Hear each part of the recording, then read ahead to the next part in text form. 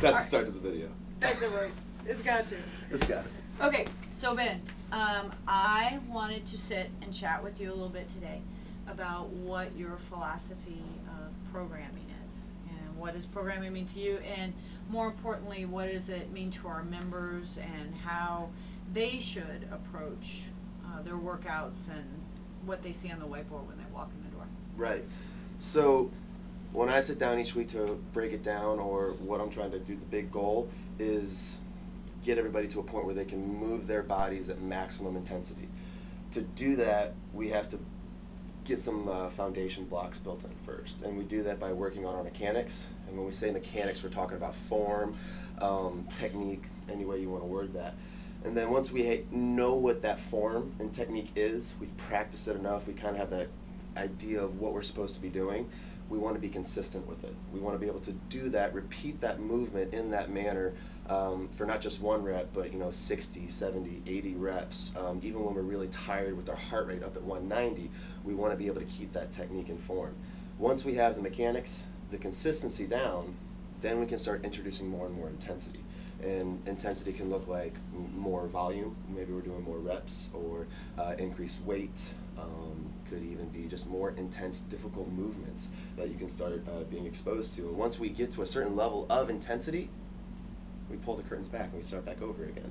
We're at a higher level now. Oh, sure.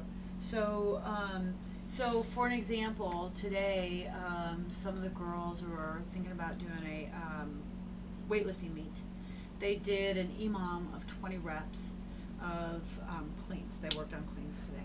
And uh, they started at, you know, probably a warm up weight and slowly went up in weight um, until they got to their warm up max or potentially even, even their, um, even a PR. Um, so the goal for that is to work on mechanics. Right.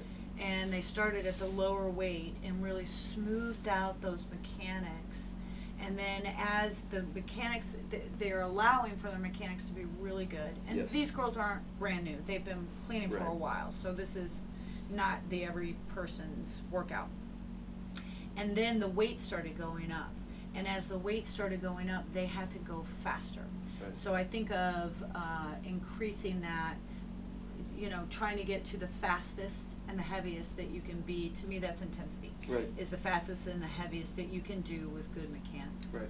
so that's what they did is they trained at these lower weights training their mechanics and then in the last you know 20 or 5 minutes of it that's when they really started challenging their consistencies so in a 20 minute time period we've got all of crossfit in a nutshell you know that's that's really you know we work the form we improve the form and then we challenge the form.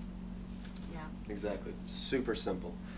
So let's go back to then your programming and what it means to our members because this as coaches we get this. We've been preached mechanics intensity or, or excuse me uh, mechanics consistency intensities for the past 10 years. Right. So um, in real life terms what does it mean when we're looking at the whiteboard at the and whiteboard, the way you program? Someone right. walks into the gym, they look at the board. Where's what are we doing that day? Okay, so um, we start off with crossover symmetry, our basic warm up stuff, all those things. It's just getting our body warm and ready, the joints lubricated, all those things ready to move well. Then we'll go into you know our ninja work, strength work, or uh, practice work, really whatever that is, and that second piece that we play with it's a little different for everybody, or it can be different for everybody. Um, let's use today's workout for example. It's uh, deadlifts and dumbbell bench press, right? For me, I'm going to be able to go kind of heavy on that deadlift. I've been deadlifting a lot. If you know me, I really like deadlifting, and uh, dumbbell bench is fine too. So I'm gonna I'm gonna do the heaviest weight I can on all of those, only because I've had experience within 10 years of doing those movements. Um, for someone brand new, he's going to be holding up just one weight. He's just going to do one weight for that in all four of those sets, and he's going to really focus on what is he doing. How uh, is he sliding his hips back? Are the knees pushed out? Are the hips stable? Is his weight in his heels? Is his lats engaged? Does he have all those things? And the beauty of it is we're both going to get exactly what we need out of that session. And let me throw myself in there because I'm in between. I've got good mechanics, but I've had some injuries in my life. I'm, you know, the mobility in certain things. My back could be stronger. Blah blah blah. What I would I would do is not go as heavy. Um, what more likely is if I go too heavy, my mechanics will break down in a flash. Really quick. So I got good mechanics. I don't have to worry about the mechanics as much, although I always have my mind on it. Um, but I'm not going to challenge myself to go too heavy to throw my mechanics off. Absolutely. And it would it wouldn't serve you well in any way, shape, or form. All we're doing is is we're pulling back all those good layers we've done. And really it's just it's hurting us when we do those things and we try to break down. It it sounds awesome in the moment. I'm gonna try to PR really quick. You know, maybe even, you know, you're you're the one before that, you know, felt good but you weren't really sure. Right, right, right, like, right. uh, maybe I rounded a little at the top. but F it, I'm gonna I'm gonna go up again. I want Right. to see, and then you know, we've then we have a pulled back. You know, Right. our erectors are spazzed.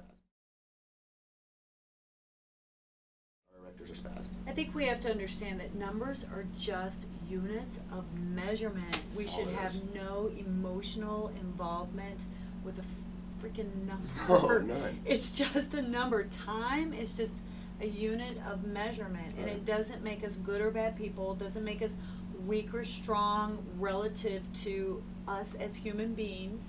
You know, when somebody says, "Hey Ben, who are you?" You don't say, "Well, I'm a guy that deadlifts." You know, f- uh, what is that? It doesn't matter Whatever. you know, a lot of weight, you know, and then I'm like, well, I'm a piece of shit because I can't, you know, deadlift all that weight. You know, it's my weight, it's your weight. These are relative numbers. Exactly. So if you sacrifice your body, which is who you are, Right. this is what takes you where you need to go and gets you out of bed in the morning. If you sacrifice that for a stupid little number, the point is being missed. Yes.